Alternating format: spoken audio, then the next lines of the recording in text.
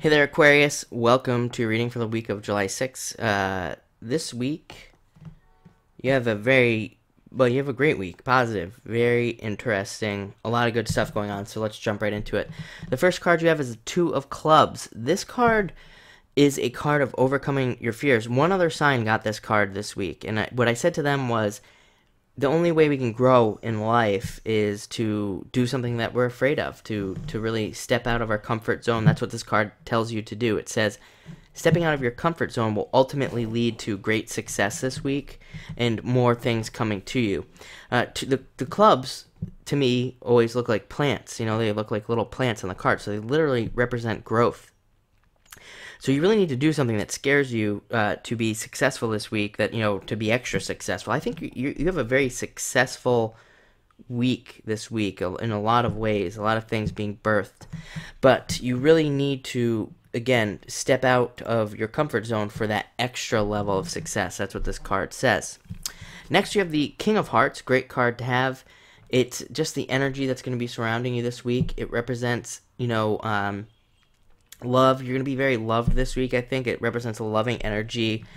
Um, it represents, uh, you know, wanting to be powerful, wanting to be abundant. And I don't mean that in a negative way. Some people take powerful, be, the word powerful, as being negative. It's not negative at all. At all. Um, it, it just represents wanting to be good at what you do. Uh, King of Hearts, they're leaders. They usually lead um, in whatever it is that they do. So it's about being a leader about being an authority. And it's about reaching towards that this week in your life and, and whatever you do your job, your business, your love life, whatever it is. You know, it's wanting to just be the best that you can possibly be this week. And I think you'll have that energy. This is, again, the energy that's surrounding you. So I think you'll have that energy this week. It's a very positive message. Uh, next, you have the Five of Hearts, another very positive message. This is all about birth and birthing. Um, I will say that uh, some of you could be birthing a relationship this week, literally. This could be somebody that's coming into your life as well. So if you're single, again, I don't attach sex to cards, so it doesn't matter male or female. Um, the person coming into your life would embody those those traits. They'd be very caring and um, you know really kind of ambitious and leaders successful in life. So if you're single, you could be birthing a relationship. I will say when the Five of Hearts comes up, I always tell people uh, if you do not want to have a child, be very careful this week. You know, use appropriate tools that avoid pregnancy because this card can represent a literal pregnancy. If you're trying to get pregnant, by all means, go for it. You you will have a good chance of getting pregnant this week. Um, you know, with this card showing up. But this card, more importantly, represents the birth of new things into your life positive situations. It's a. Uh, I always say this is a very situational card.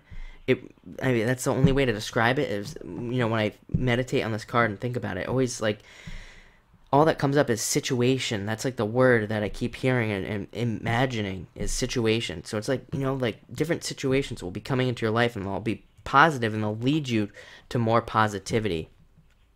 So it's a great card to have. Uh, next, you have these two cards. Um, I'm going to put them together because I think that this is the message here.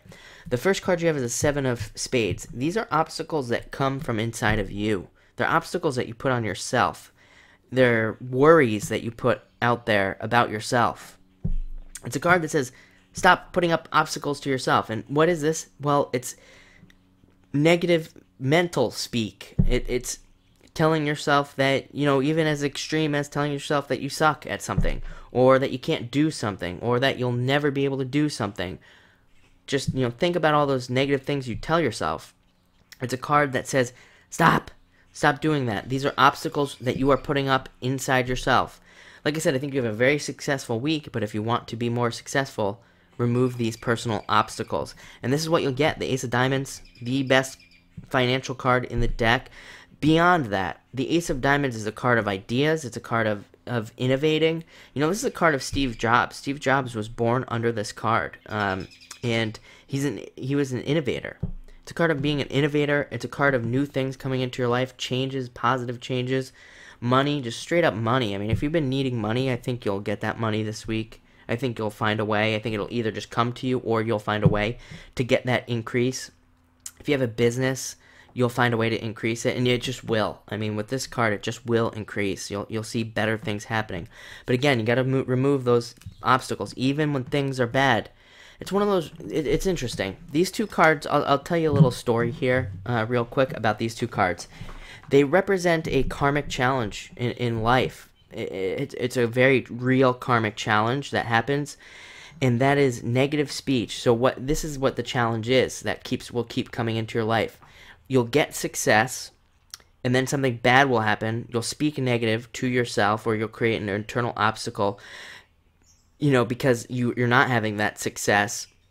So you'll have that negative speak and then you'll be feeling really down and all these you know, all these bad feelings. Uh, and then you'll have success again. And then it'll be taken away. And it's like maybe you'll be continuously stuck in this circle this cycle kind of very similar to that with this card, these two together, the karmic cycle that is these two cards, it's a very real karmic cycle. Is it says that when you get to that down, when you're not successful for a little while, only think positive thoughts. Then what will happen is you'll just have one complete cycle of success. And then you'll it'll just be cycles and cycles and cycles of success instead of having that negative speak, hating, self-hate type of thing. But overall, like I said, if you're still going to be negative, the message is um, that you're going back to your up cycle. But really, I would encourage you to stay positive, even when things get negative. Try to be as positive as possible. You have a great week. I mean, this card alone, if you got this card alone, it would be an amazing week. So you have other amazing cards here. So thank you for watching this video and enjoy the week.